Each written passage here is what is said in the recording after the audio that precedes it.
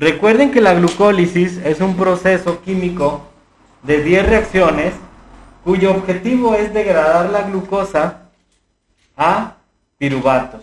Es decir, que una molécula de 6 carbonos, a través de diferentes reacciones químicas que incluyen diferentes enzimas, se transforme químicamente a lo que nosotros conocemos como el piruvato. Una molécula de glucosa dijimos que daba dos piruvatos. Y estuvimos revisando que es una vía energética porque produce ATP. Pero este es el inicio de una vía más larga que se llama respiración celular. Cuando la glucólisis termina, se producen los piruvatos y estos entran inmediatamente a un proceso, a un proceso químico, donde este piruvato, por acción de la piruvato deshidrogenasa en presencia de tiamina, vitamina B2, B3, ácido pantenoico y ácido lipoico, se transforma en acetilcoenzima A. Entonces, si una molécula de glucosa nos da dos piruvatos, vamos a tener dos ciclos de Krebs. En la célula hay muchísimas moléculas de glucosa. Entonces son millones y millones de reacciones de ciclo de Krebs. Esta, esta glucosa se transformó en piruvato y luego en acetilcoenzima A. Esta acetilcoenzima A es capturada. es capturada. ¿Estamos aquí? Sí. Tómalo. Esta acetilcoenzima A es capturada por el ciclo de Krebs. O entra a lo que se conoce como el ciclo de Krebs, que es el siguiente. Ahí está la acetilcoenzima A, véanla, admírenla, alábenla. ¿Qué es esta? Esta acetilcoenzima A entra en presencia con esta enzima que se llama citrato sintasa. La citrato sintasa acciona o se activa o reacciona con la acetilcoenzima A y le quita este radical que es coenzima A. Se transforma de acetilcoenzima A, se transforma en citrato. El citrato libera una molécula de agua y en presencia de cis aconitato se hidrata nuevamente y forma el isocitrato. ¿Sí? ¿Qué enzima está involucrada aquí? La aconitasa. Y luego, este isocitrato se recarga, bueno, recarga a un NAD, lo transforma en NDH. Generalmente las moléculas que pierden energía se encuentran así, como ADP o NADH. Estas están descargadas. Cuando les agregas, esta se transforma en ATP y esta en NADH. Entonces ya se recargó. Bien, aquí se está recargando. Luego en el 3 la isocitrato deshidrogenasa, que es esta enzima, libera un CO2, se lo quita a este y la transforma en alfa-cetoglutarato. ¿Sí? El alfa-cetoglutarato en presencia de la enzima alfa-cetoglutarasa, que es la 4, ¿sí? y en presencia de coenzima A, recarga un NAD, lo transforma en NADH y produce la succinilcoenzima A esta succinilcoenzima en presencia de succinilcoenzima sintasa forma succinato. Succinato en presencia de la enzima número 6, succinato de hidrogenasa, hidrata, digo, protona un FAD y se produce un FDH2. Este pasó a ser fumarato, una molécula de agua se integra con la fumarasa, que es esta enzima, y se forma malato y luego en el 8, que es la malato hidrogenasa, se forma una nueva este, NADH, se hidrata y vuelve a comenzar el ciclo. ¿Sí? Los químicos. Desde ahí, imagínense que en este momento se me ocurrió preguntarle, ¿cuáles son las 10 enzimas de la glucólisis y cuáles son las 8 del ciclo de Krebs? Si estudienlas así, Deben de aprenderse cuáles son las 10 enzimas de la glucólisis y cuáles son las 8 enzimas del ciclo de Krebs. Porque a veces sí las preguntan. Ah, no, no te las de, la glucólisis. Mm. La primera es la exoquinasa. Y luego le siguen otras. enolasa, estas. ¿Se las dicto? 10, 10 enzimas de la glucólisis. Pero vamos por orden. Exo, exoquinasa ¿Diez enzimas? de la glucólisis. Exoquinasa. Ujú. Exoquinasa o exocinasa, como aparece ahí. La 2 es la fosfoglucosa isomerasa. La fosfo, sí. Ah, no pude. Espérenme, déjenla quito de aquí.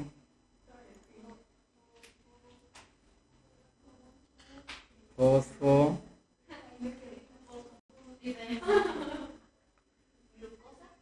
Exoquinasa.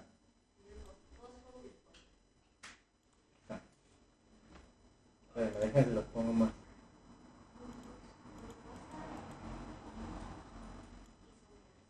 Ahí están las primeras tres. Son la- las azules, ¿verdad? Sí. Esas son las primeras tres. Ya que terminen me dicen les paso las otras.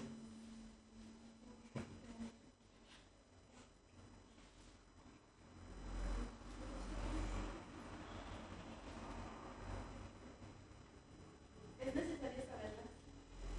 Sí, porque así puedes perfectamente describir el ciclo de, la glucólisis. Porque, por ejemplo, este, puedes decir, la primera enzima que actúa sobre la glucosa es la exoquinasa, la transforma en glucosa 6-fosfato. Y luego la fosfoisomerasa la transforma en glucosa 6-fosfato. Y así te puedes ir Estas son de la glucólisis. glucólisis. ¿Sí? ¿Ya? Vamos con la 4. ¿Cómo es que se llamaba el 10? ¿Qué? Reacción, enzimas de la glucólisis. La 4 son estas dos. Pongan esas dos. Juntas. Sí.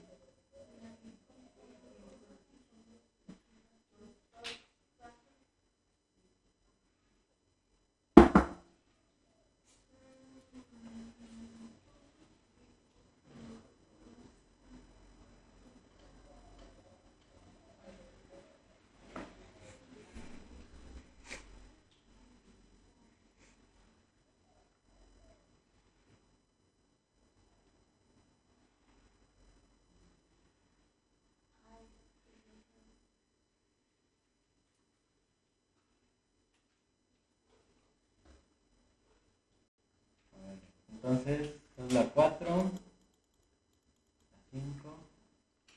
Vámonos a la siguiente. Me espero. ¿Cuál es la 5? ¿Ves? ¿Qué sigue? A ver, vámonos por la que sigue. Acá. ¿Cuál es la 5? A ver, creo que nos hicimos vueltas.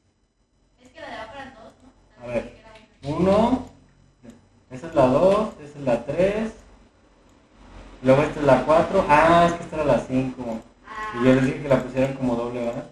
Sí. Sí, no, se cancela. Esa es la 5. ¿Sí? Ah, ¿es que está mejor? No. La 4 no era la 4, pero tampoco era la 5. ¿Listo? Ahí van las otras. Esa es la 6. ¿Cómo es? ¿Qué? Gliceraldehído 3-fosfato deshidrogenasa. Gliceraldehído 3-fosfato deshidrogenasa.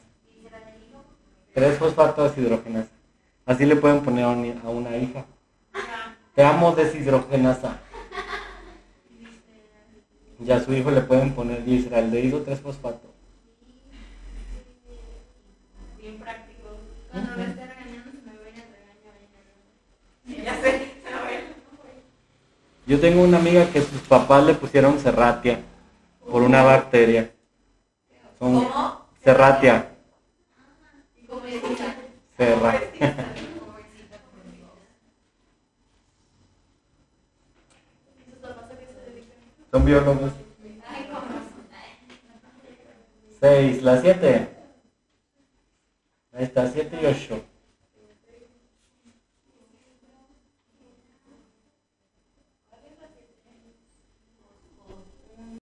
Fosfoglicerato. Bifosfato. 1, 3 bifo. Fosfoglicerato. 1,3 bifosfoglicerato. Y luego la otra es 3 fosfoglicerato.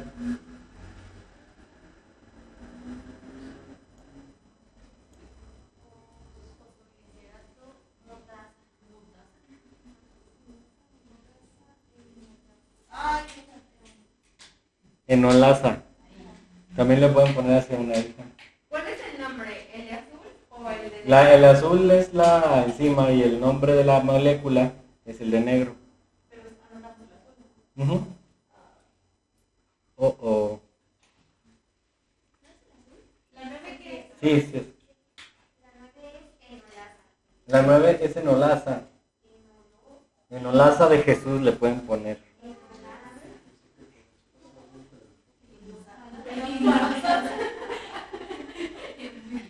Enolaza Yandel. Enolaza Maluma. Queda con Sí. En- Osuna Enolaza. Enolaza baby. Yo no, que, que no, qué miedo. Ya no te voy a comprar muffins. No, fíjense que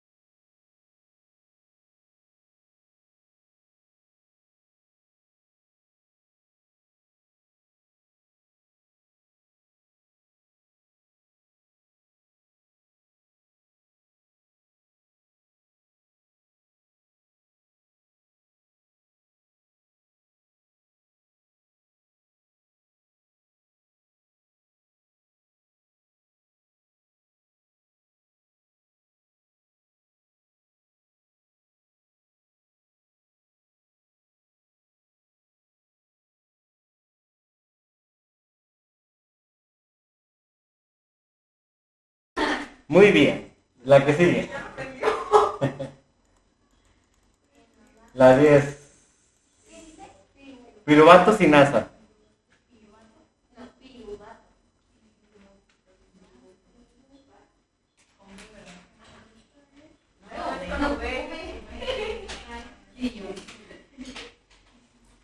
Esas son las 10 enzimas que participan en la glucólisis. Por ejemplo, una pregunta sería que las ordenaran por orden de aparición, pero son muchas, ¿cuántas son 10? Quedaría una pregunta muy grande. Ah, es la del ciclo de Krebs. Esta, esta de piruvato, ¿me habla? ¿No? Esta de piruvato que les puse, esta, se transforma para entrar al ciclo de Krebs en esta. Hace clic encima. El piruvato se transformó a esta. Y entonces inicia el ciclo de Krebs con estas ocho en- enzimas. Dice su compañera, no, ya olvídelo. No me voy a pelear con usted. Por lo de los hijos. Ah, interesante. ¿No? Sí, ya se fue. ¿Qué dice la dos? ¿Le puede hacer su cuenta? Sí. Sí. Y por favorcito, se la agradecería de todo corazón. Loca, ciega, sordo, muda. Ay, ¿Así? le costaba.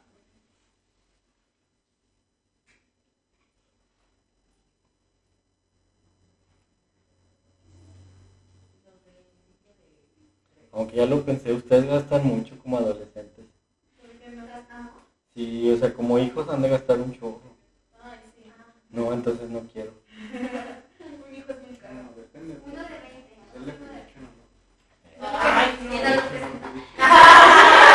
Es como uno educa a sus hijos, ¿no? Sí, imagínense, papá, dame para el concierto de Bad Bunny. Ay, sí, fui. Le voy a decir, no, mejor me voy yo. Va a ser el diseño. En diciembre. Ay, a mí sí me la compraron. ¿Cuánto te costó? Eh, pues la vamos a alcanzar en 1800. Sí, es que son, ya estaban los demás revendidotes. La vendían a 45. Y yo, ay, sí. A mí 25. Mejor, mejor dan el enganche de, enganche de un carro. 45 das el enganche de un carro. ¿Esos cómo se llaman? Se llaman enzimas del ciclo de Krebs. En las esquinas. Ay, esto ya no termina. ¿Qué toca después de esto? ¿Y después español? No. Física. Física. Ya hasta me lo sé. Porque el lunes le dejo el cañón a la maestra de español. Te estás cosiendo el Ezequiel. Estoy viendo si se arma una camioneta. Ya se me está caliente. Una vez un compañero en la secundaria le puso Tranquilina. pero no quiso dar la entrada. De la escuela. Y nomás porque se según le a marcar los puntitos Ay, de no, primo. Y no sé cómo le pegó bien ¿Cómo fuerte, te pero la cosa le quedó toda Para que están traviesos. pues, una regañada. Pues imagínate, son bien caros. Un cañón de estos cuesta como 10 mil pesos. Sí. Ahí están las que siguen.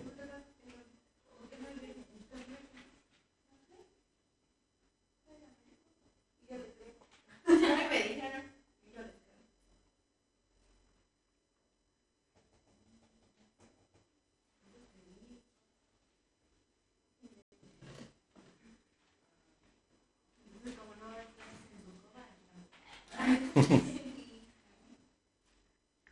¿Listo? Y le a la persona que le.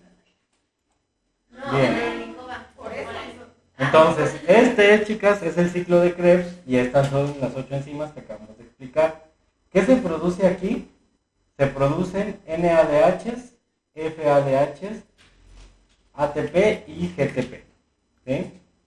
Y estos entran a un, se- a un tercer ciclo que es la fosforilación oxidativa, ¿sí? que ahorita la vamos a ver.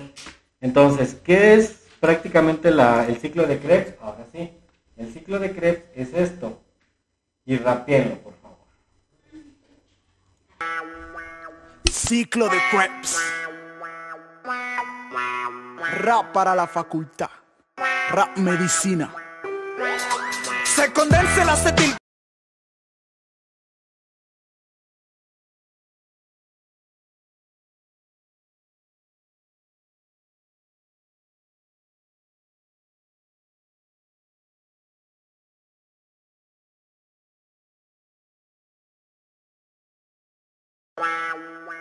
Ciclo de Krebs. Rap para la facultad. Rap medicina.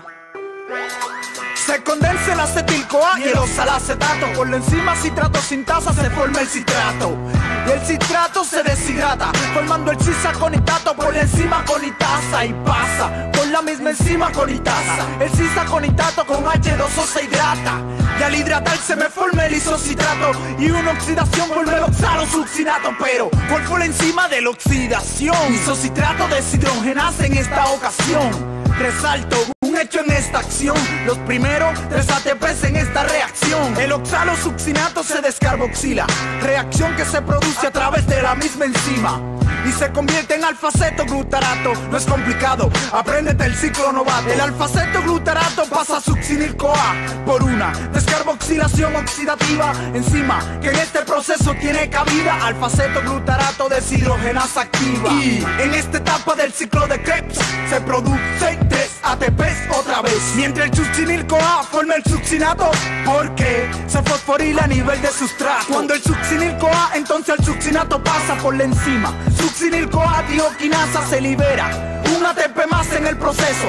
Llégale, colega, al ciclo que tú sabes de eso. El succinato pasa al fumarato por oxidación, produciendo dos ATPs en liberación. La succinato deshidrogenasa con su introducción fue la enzima, que aquí tuvo participación. El fumarato pasa al malato cuando se hidrata, realizado proceso por la enzima fumarasa y el malato se oxida y de momento pasa, actúa la malato deshidrogenasa. Entonces el malato vuelve al oxalacetato, liberando tres ATPs en tan solo un rato. Luego sigue el proceso como inició el principio. Y llega el acetil-CoA de nuevo y se repite el ciclo. Se condensa el acetil-CoA y el oxalacetato. Por la enzima citrato sintasa se forma el citrato. El citrato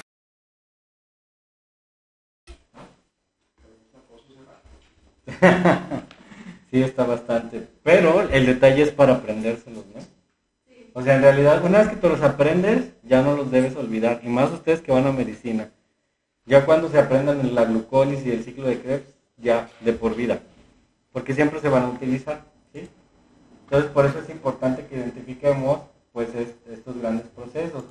De hecho, les digo que estos procesos se llaman respiración celular, como tal. Me que viene una ahí pero es una cadena de procesos químicos donde ocurre esto. Miren, ahí está, de hecho esa diapositiva creo que la tengo por ahí.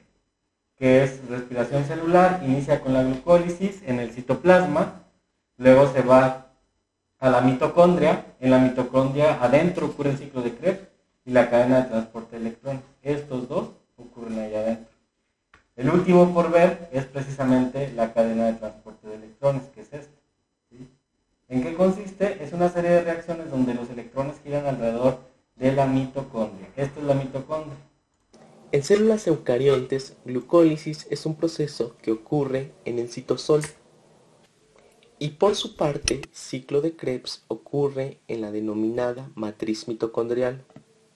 Durante dichas rutas metabólicas se obtienen a los denominados acarreadores de alta energía, Ahí lo que está ocurriendo es que la glucólisis, este espacio que ves gris, es el citoplasma. Y esta, que parece un cacahuate, es la mitocondria. Entonces, cuando la glucólisis se convirtió en piruvato, los piruvatos son jalados aquí adentro y entran a lo que se conoce como ciclo de Krebs, que son las enzimas que acabamos de ver en el RAP. Estos empiezan a producir muchos electrones y ahorita van a ver cómo estos complejos empiezan a utilizarlos. El NAD y FAT. Dichos NAD y FAT pueden ser enviados a continuación al proceso denominado fosforilación oxidativa o también conocido como cadena transportadora de electrones. Los complejos que participan en dicho proceso están ubicados en la membrana mitocondrial interna. Es una serie de complejos Entonces, ahí tienen que identificar, número uno, que el ciclo de, Krebs va a aportar moléculas que se llaman NDH y FDH, que son los que pone aquí. Mismos que van a ser utilizados en un sistema o en un complejo de sistemas que están en la membrana de la mitocondria. Eso es muy importante. Estos van a utilizar a eso. proteicos de coenzimas y citocromos muy enriquecidos. Básicamente se encuentran conformados por el complejo número 1 denominado complejo de la NAD deshidrogenasa. Entonces imagínense que en un examen les pueden preguntar con respecto a la respiración celular, ¿cuáles son los complejos que se encuentran en la cadena de transportes de electrones? Tú tendrías que contestar NDH deshidrogenasa, número 1, número 2, succinato deshidrogenasa, número 3, citocromo reductasa, número 4, citocromo oxidasa y número 5, ATP sintasa. ¿Cómo dijo que se llamaba? ¿Complejos de qué? Complejos de la membrana de la mitocondria, de la cadena de transporte de electrones. Complejos de la cadena de transporte de electrones. Así. Sí, transporte electrónico. Ujú. Porque son como... ¿Han visto las bicicletas? Bueno, pues hagan de cuenta que eh, los dientes o la cadena, los eslabones de cada cadena, es un electrón que está siendo transportado alrededor de la mitocondria, como si fuera una cadena de bicicleta. Por eso se llama cadena de transporte de electrones. ¿Sí? Ahí va. ¿Aquí? En el 2, Succinato deshidrogenasa. También le pueden poner así a un hijo. Succinato. Deshidrogenasa. Des. Deshidrogenasa. deshidrogenasa. O sea, sin hidrógeno. La 3 es cito. Citocromo C reductasa. Deshidrogenasa, Evelyn.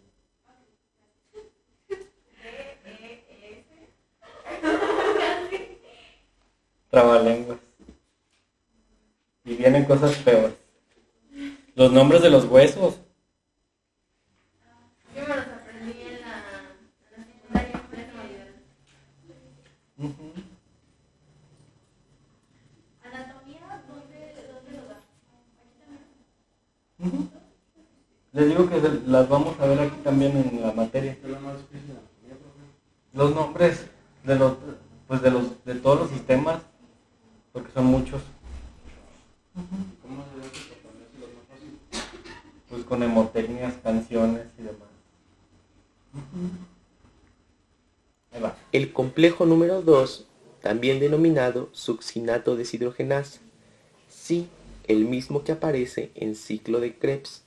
El complejo número 3, también conocido como el complejo de la citocromo C reductasa, el complejo 4, complejo de la citocromo C oxidasa y el complejo de la ATP sintasa, quien se encarga propiamente de la síntesis de ATP. Asimismo, podemos reconocer la presencia de una coenzima Q de naturaleza no proteica y de un citocromo C, ambos movibles a través de dichos elementos. Ahora bien, ¿cómo ocurre dicho proceso? El NAT básicamente es oxidado por el complejo número 1. Cuando sucede esto, le dona dos electrones a dicho complejo. Estos electrones empezarán a viajar a través de estos elementos. Del complejo número 1 Aquí lo que ocurre es que los electrones que se producen en el ciclo de Krebs son utilizados por la cadena. Entonces, ¿qué es lo que hace? El primer complejo toma dos electrones que va a sacar de los NDH. ¿Se acuerdan que estos se produjeron en glucólisis ciclo de Krebs? Estos los toma y los empieza a transportar. Es como si estuviera en una piscina y ahí te va la pelota. Y la recibe. Ahora yo se la mando a otra persona. Es lo que está haciendo aquí. Estos dos los va a transportar para acá.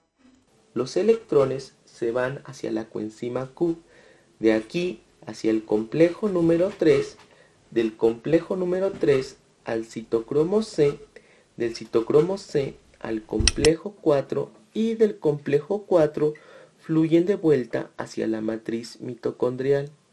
Cuando regresan hacia la matriz se combinan con medio oxígeno y dos hidrógenos para formar una molécula de agua. Lo importante es que a través de dicho proceso los complejos empezarán a bombear protones. El complejo número 1 bombeará 4 protones. El complejo número 3 bombeará también 4 protones. Y el complejo número 4 bombeará 2 protones. Estos protones viajarán de regreso contra su gradiente de concentración a través de la ATP sintasa. Cuando lo hacen, le dan la fuerza motriz a la ATP sintasa para que fosforile ADP y lo convierta en ATP. Es importante haciendo aquí es jalar los electrones y aventárselos, y al aventarlos en esta cadena y la formación de las moléculas de agua, se genera una especie de sistema motriz que hace que el ADP se regenere. De hecho, aquí es donde se forma todo el ATP, en la mitocondria. Por eso dícese que la mitocondria es la parte de la célula que produce la energía que los cuerpos necesitamos para subsistir. Recalcar que cada cuatro protones que fluyen a través del ATP sintasa sirven para que dicho complejo fosforile ADP en ATP. Pero ¿qué sucede en el caso del FAT? El FAT por su parte es oxidado por el complejo número 2. El primero es con NDH y el segundo es con FDH. Este es el que va a explicar ahora, el FDH.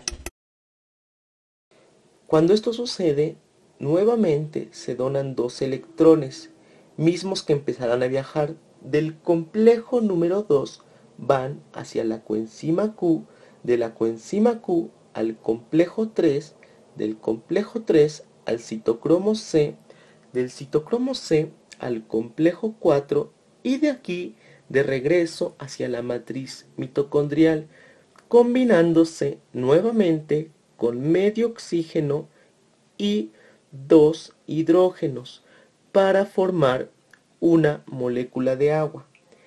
Como te podrás dar cuenta, el complejo número 1 no participa en esta ocasión, por lo que no bombeará protones hacia el espacio intermembranal, a diferencia del complejo número 3 que bombeará 4 protones y el complejo número 4 que bombeará 2 protones solamente.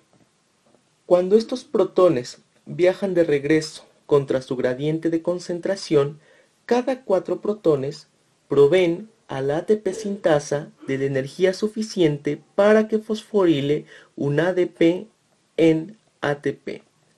Si hacemos un poco de matemáticas, a partir de un NAT, debido a que se bombearon 10 protones, sirven para sintetizar hasta 2.5 ATPs y a partir de un FAT, debido a que solamente bombean 6 protones, sirve para sintetizar hasta 1.5 ATPs.